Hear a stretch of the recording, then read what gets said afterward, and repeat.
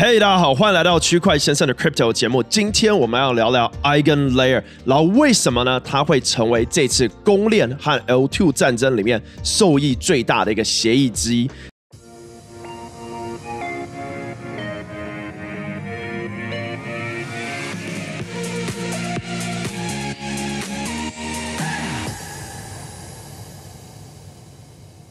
在开始之前，我要请大家，加密货币投资非常高风险的一件事情。如果你不懂的话，就绝对不要碰。今天讲的都不是任何的借用建议。Cryptocurrency investment is really high risk, so if you don't understand it, please don't touch anything said today. is not a financial advice. 然后我们现在呢，每一集都会抽奖金额，从十、二十、五十、一百美金不等，加上呢，我们也会抽出一些精美的礼品啊，包括我们现在戴的这个帽子，还有我们这件衣服，还有最近出的一些包包哦。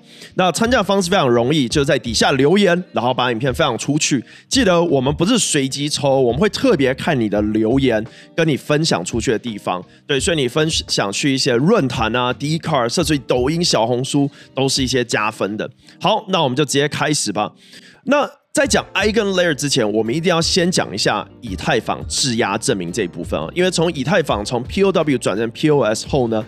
整个以太坊现在出现了各式各样的 LSD 项目，从去中心化到半中心化到全中心化。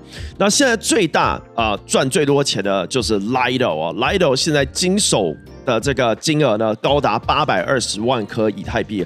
而且呢，它的这个手续费啊，一年大约可以赚七到十亿美金。所以我常讲，LSD 应该是现在最急迫性，而且收益最多的这个协议啊。那也越来越多项目进来做，包括中心化交易所，像 Coinbase 两百三十一万颗，币安一百二十四万颗，Stakefish 一百七十四万颗，Kraken 八十一万颗，Rocket Pool 七十八万颗。所以你会发现，哎。好像没有很多，这也是为什么以太坊现在其实不够的去中心化。那我觉得今年呢会看到越来越多的这个呃新的玩家进来，尤其是呢 Lido 的治理代币已经越来越少，因为它是一个老项目，所以新的协议呢，像是 Puffer 这类型的项目呢，就会啊有办法透过自己的治理代币来激励更多人来进行质押。好。那回来讲一下，Eigen Layer 在这里面啊占什么样的角色哦？它其实呢啊占一个很重要的角色，因为呢它可以让这个用户呢去做一个这个 staking 的 restaking 的动作。什么意思呢？今天你可能啊只进去 Lido，那你只能赚大约四到五趴的这个 validating 的奖励，对不对？但是呢，如果今天你是透过 Eigen Layer，Eigen Layer 呢会同时帮你在这个以太坊质押以外呢，还帮你放到其他链上。这时候你一定会看到，哎，为什么 Polygon 在这里面？为什么 Chainlink 在里面？没有错，因为除了以太坊这个 Validator 能做链上的验证以外呢，它其实还能做很多其他事情哦，帮助很多其他的工具呢变得更安全哦。其中呢就有预言机和桥，还有侧链跟这个执行层哦。那我们先讲一下这个桥好了，桥呢现在是很重要一个角色，对我们看到其实现在有这么多的 Layer Two 呢，大家都是透过不同的桥过去哦。但是因为呢，所有这些桥呢，它跟中心化交易所不一样，不是说你寄过去呢，哎，我知道这是你，然后我给你币，对。现在的桥呢，会想要越来越去中心化，也因为这样子呢，让它变成很容易攻击的地方哦。那如果呢，它的这个安全系数要高的话呢，它就必须要利用已经成熟的技术。这也是为什么我们看到近期推出的 Say Network 呢，使用了 Tenderman，就是 Cosmo，因为呢，Cosmo 呢已经有它自己的这个安全的共识层，所以说呢，哎，任何人想要做自己的攻略呢，就可以透过 Cosmo。也是为什么我们看到 Coinbase 现在发的这条 Base Lane 哦，可以直接这么快上线哦，因为它直接利用了 Optimism 的 OP Stack，which 是用以太坊的这个安全呢，那这样子的做法呢，让很多人可以快速发公链啊，同时呢，这个事情呢，也可以延伸用在桥上面哦。那但是呢，OP Stack 呢跟 Cosmo 呢，它其实没有太支援桥上面进行共识层的啊部分，所以呢，你现在呢就可以变成使用 Eigen Layer 哦。那 Eigen Layer 呢，就是利用啊这个以太坊的这个 Decentralized Trust Aggregator 来达成这一点哦。那这时候呢，你作为 Eigen Layer 的质押者呢，你不只是赚哎以太坊节点验证的这四到五趴的奖励以外呢，你还可以赚。这些桥，哎，他用你的这个共识这个安全系来增加它的安全系数，然后呢来发的奖励，或是呢今天哎预言机链上预言机越来越去中心化，然后也需要支付这费用。第三个很赚的就是 side chain 了，其实侧链呢。是一个呃非常收益非常非常大的地方哦。我们来讲一下现在有多少的这些公链要出来，而且也是利用以太坊的。第一，我们呃所认知的像是这个 Polygon 上面的链啊，包括呢现在我们看到这个 L2 的啊 ZK Sync。啊，使用 zk snark 的，还有像是我们现在看这边还有哪一些 optimism 啊，dydx 这些全都是哦。那另外呢，已经有一些呃公链呢是直接使用 eigen 的。那其中一个有公布出来的就是 mental，mental 它现在呢也是啊 set 它把几个东西部分呢透过 eigen layer 来去做这个 data availability 的 solution 哦，其中呢有 execution 执行 data availability。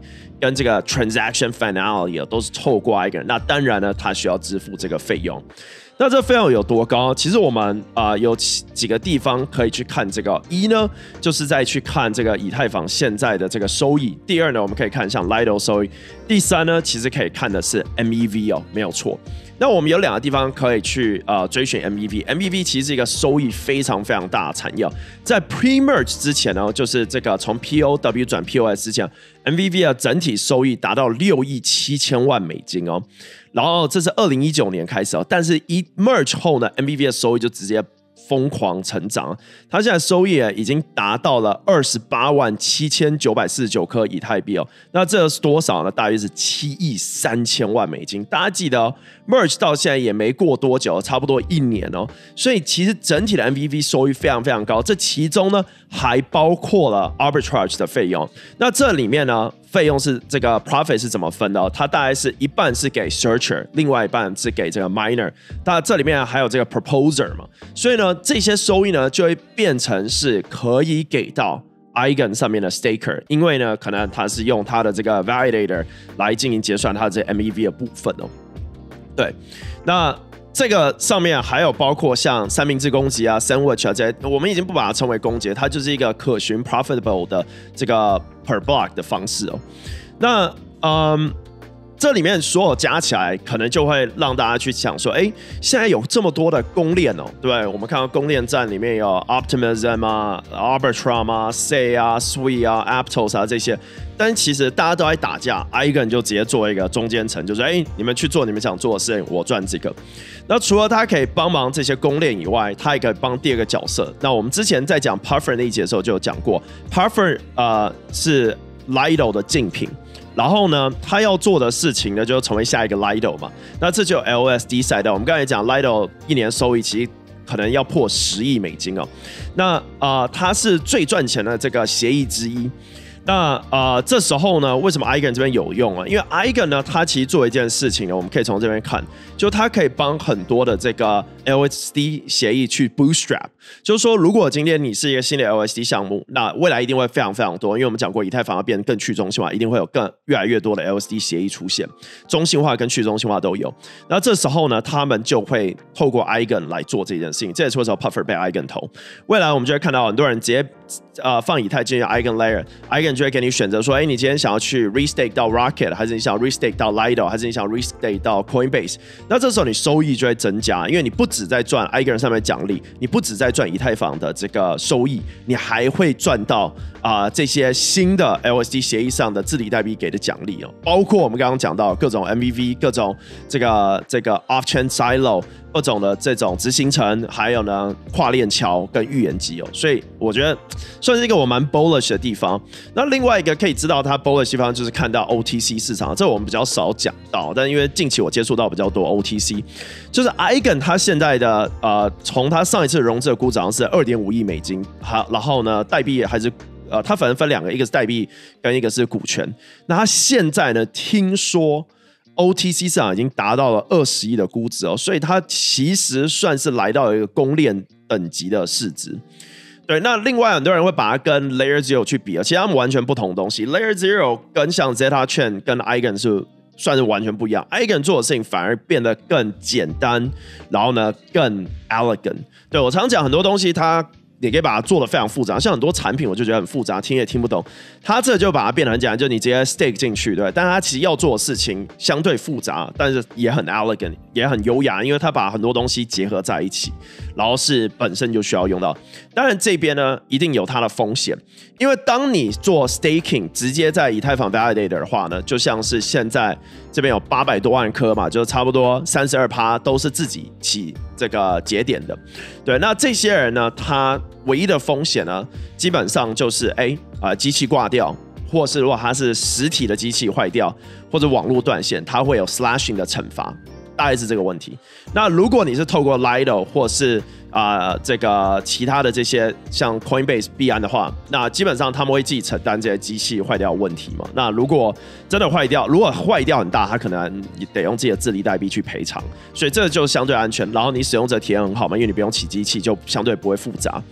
那如果你再到 Eigen 的话，那它又多一层了，变成是你需要怕机器坏掉，你需要怕 Lido 如果出问题，然后你还需要怕如果 Eigen 出问题的。那同时，因为你呃。有了这些风险，你的奖励就会变更高。